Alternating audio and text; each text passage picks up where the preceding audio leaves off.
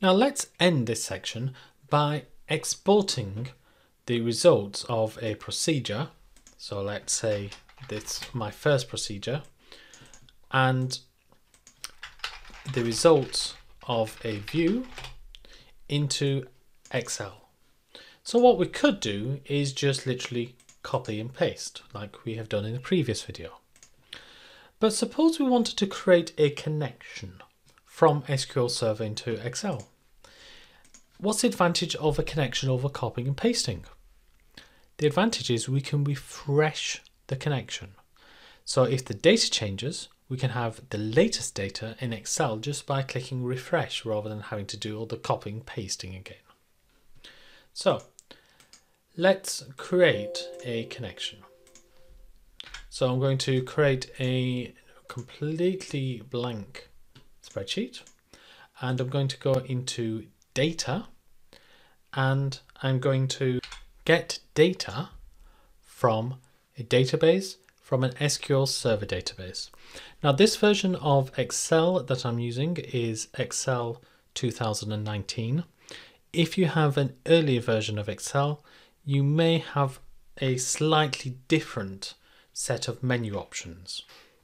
For instance, this is what it looks like in Excel 2016.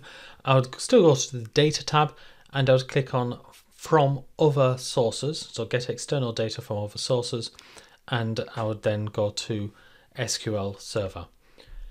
So let's get information from SQL Server database. And the first thing it asks is, okay, where is your SQL Server database? Um, it's just there. It's, well, you can't do that. Instead, what I'm going to do is I'm going back to the Object Explorer. I'm going to click Connect, Database Engine, and I'm going to copy this server name. You may, of course, have credentials from your system administrator. And then the name of the database, well, I might as well put that in as well. Name of the database is my first database. So to get the name, I'll right and click on it, go to rename, just allows me to copy and paste.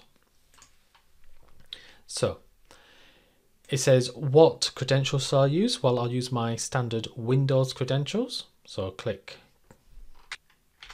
connect. Again, if you're using an earlier version of Excel, what you're seeing might be slightly different. So I'm going to use an unencrypted connection because this is literally on my computer. So what I'm going to get is a view. So I can get my first view and you can see a preview of what that looks like. So what I've now got is my view and I'm going to load this data into Excel. So I just need to give it a minute or two, getting the data, and there's the data. So the great thing about this is that whenever the data changes, I can just click refresh. In the table tools design, I have to actually be in the table to refresh. And it will refresh the data. It will requery SQL Server and get the very latest. And that saves an awful lot of time if all of your data is stored in SQL Server. So that's a way of getting tables and queries. But what about getting procedures? Well, almost exactly the same. So I'm going to get data from database, from SQL Server database. Again, I need the name of the server. So I'll just copy that. And I'll need, in this case, the name of the database. So my first database. But now I click on advanced options and this is where I can type in my SQL Server statement. So my advice if you're doing this is to create your SQL Server statement. So it could be a store procedure or you could be creating your own custom select statement. So if I just do a very quick one here, so select star from table transactions where the product, the purchase order ID is less than 10. So just write your select statement in SSMS, execute it, make sure it works, and then copy the code. Don't copy the results, but copy the code into Excel and then click OK.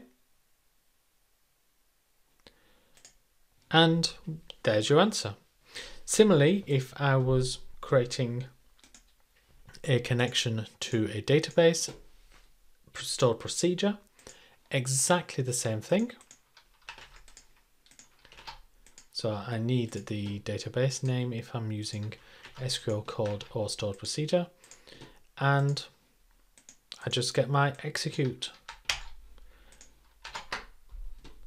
And that's all I need.